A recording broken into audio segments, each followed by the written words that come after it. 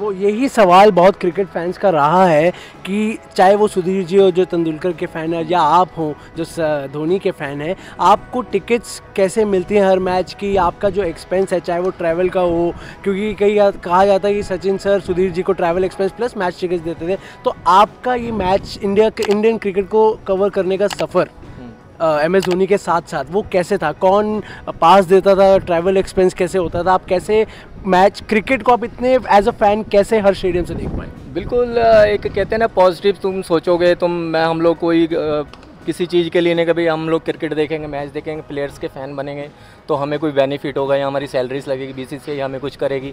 No, ऐसा कुछ नहीं था, बस हम लोग का एक पैशन था क्रिकेट के लिए, एक प्रूफ करना था कि हम लोग एक डाई हार्ट फैंस हैं वर्ल्ड वाइड फ़ैन हैं, हम अपनी कंट्री को बाहर जाते हैं। जैसे मैं फ़र्स्ट टाइम बांग्लादेश गया था 2014 में टी ट्वेंटी वर्ल्ड कप में श्रीलंका गया था, दुबई गया था तो अपनी कंट्री को रिप्रेजेंट किया, हम लोग जाते हैं तो ये सोच के नहीं जाते, हमें पैसा नहीं मिलेगा या सपोर्ट नहीं मिलेगा तो हम लोग जाएँगे नहीं। हम लोग पहुँच जाते हैं, दोस्तों की मदद से पहुँच जाते हैं। जब मैचेस नहीं रहते तो कुछ पार्ट टाइम जॉब करके वो पैसे हम लोग अपनी पॉकेट मनी जमा करते हैं मैचेस के लिए स्पेशली और कुछ नहीं भी होता है, कुछ दोस्त मेरे हेल्प कर देते थे, कहाँ भी राम बाबू जाओ आप और आप नहीं जाओगे। कोई सारी जगहों में दोस्त वगैरह रहते हैं तो वहाँ पे रहने सहने का सब हो जाता था।